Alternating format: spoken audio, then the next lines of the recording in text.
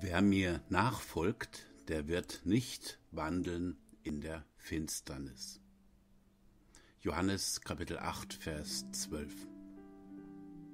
Ich bin das Licht der Welt.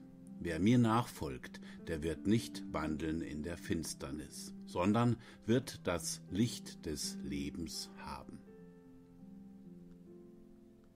Nachfolge ist etwas, was wir sicherlich nicht aus dem Ärmel schütteln sollen oder können, sondern wir sollen mit Ernsthaftigkeit uns bemühen, Jesus nachzufolgen, ihm zu vertrauen, durch den Heiligen Geist uns auch leiten und führen zu lassen.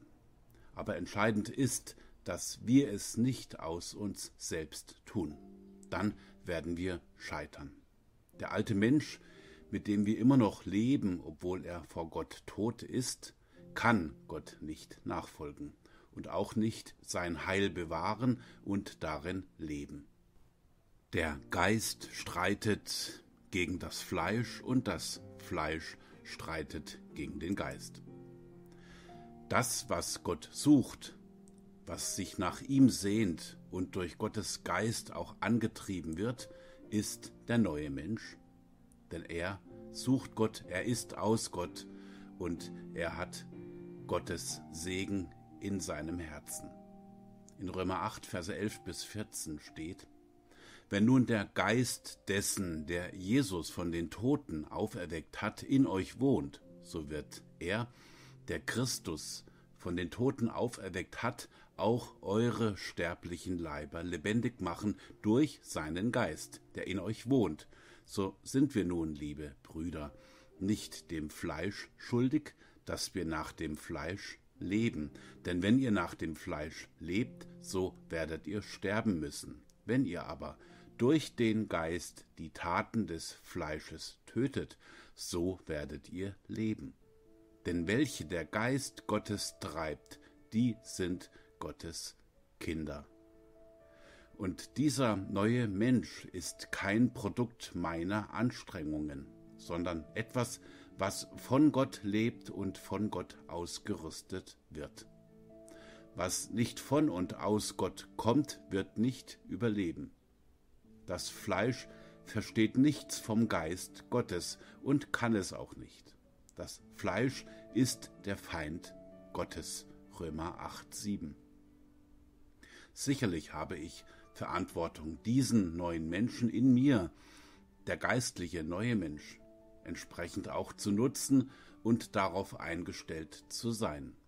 Dass wir nämlich verstehen, dass dieser geistliche Mensch vom Geist Gottes lebt und nicht vom Fleisch, von dieser Welt, von meinem Willen, von meinen Entscheidungen, von meinen Talenten, meinen Gaben oder meinem Geld oder meinem Einfluss oder was auch immer der Geist Gottes in uns lebt vom Geist Gottes. Anders geht es nicht. Aber wer nun diese Nachfolge zu einer Sache von Leben und Tod macht, das Heil in Jesus entsprechend in Frage stellt durch den Gedanken der Möglichkeit, dass ich das fahrlässig aufs Spiel setze, der lebt kein Leben aus Gott, sondern ein Leben aus Angst, aus Werkgerechtigkeit und durch Verkrampfung. Angst ist entsprechend nicht in der Liebe. 1. Johannes 4,18 Und um die Liebe geht es letztlich. Sie ist das Höchste. Gott zu lieben ist das Höchste, was ein Mensch tun kann. Wer sich vor Strafe fürchtet, nämlich den Abfall, ist nicht so in der Liebe eingewurzelt, wie es sein könnte und eigentlich müsste und wie es auch sein darf, weil Gott das versprochen hat. Wenn man durch Buße und Glauben die Vergebung seiner Sünden empfangen hat, dann hat man sie empfangen. Es ist die vollkommene Liebe Jesu Christi, die jede Furcht aus uns heraustreibt. Wir lieben Jesus nur aus dem Grund, weil er uns zuerst geliebt hat. 1. Johannes 4, 19. Und das bedeutet, dass derjenige, der den Anfang gesetzt hat, und das ist Jesus Christus in Person, weil er der Anfänger und Vollender des Glaubens ist, und derjenige wird dann auch seine Liebe letztlich zum Ziel führen. Und seine Liebe ist dadurch zum Ausdruck gekommen, indem diese Liebe ans Kreuz gegangen ist, für dich und für mich, und dir den rettenden Glauben daran geschenkt hat. Und das ist Gottes Werk. Und daran dürfen und sollen und können wir glauben. Und daran ändert sich auch nichts. In Hesekiel im Alten Testament in Kapitel 36, Verse 26 und 27 steht. Und ich will euch ein neues Herz und einen neuen Geist in euch geben und will das steinerne Herz aus eurem Fleisch wegnehmen und euch ein fleischernes Herz geben. Ich will meinen Geist in euch geben und will solche Leute aus euch machen, die in meinen Geboten wandeln und meine Rechte halten und danach tun. Hier steht, dass Gott das machen will. Ich will. Durch die Neugeburt haben wir einen Geist bekommen, der nicht mehr in Rebellion gegen Gott ist, sondern sich nach ihm und seinem Willen ausstreckt. Römer 8, 14. Diesen willigen Geist haben wir von Gott bekommen. Nicht immer in gleicher Kraft und gleichem Willen und Verlangen, aber doch stetig und bleibend und entsprechend auch für unseren Glauben. Dass wir darin leben, dass wir daran festhalten, dass wir ein Überwinderleben leben, dass wir wissen, dass wir mit diesem Gott über Mauern springen können, dass dieser Geist Gottes uns führt und leitet und letztlich in alle Wahrheit führt und sogar die Tiefen der Gottheit erforschen kann. Wenn wir nun sagen würden, dass wir diesen Heiligen Geist in uns unschädlich machen könnten, so dass wir abfallen und verloren gehen, trotzdem er in uns wohnt, dann sind wir stärker als Gott und halten auch noch zu viel von uns selbst und haben noch nicht verstanden, dass wir tatsächlich aus Gnade leben und aus Gnade gerettet wurden.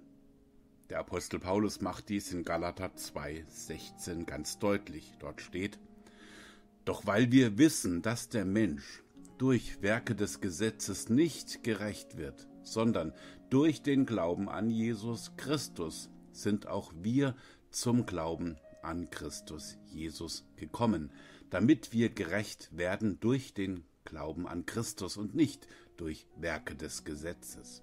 Denn durch Werke des Gesetzes wird kein Mensch gerecht.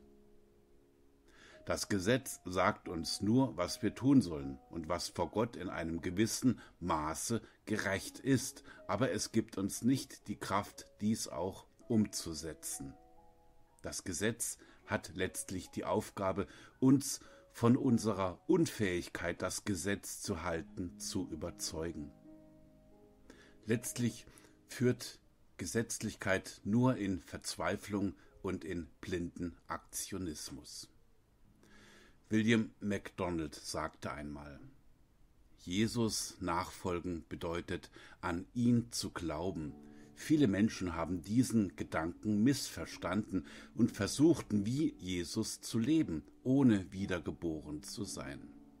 Jesus nachfolgen bedeutet in Buße zu ihm zu kommen, sich ihm als Herrn und Retter anzuvertrauen und ihm dann das ganze Leben hinzugeben.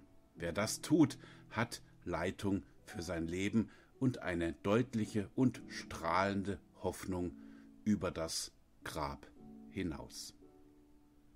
Gott segne euch.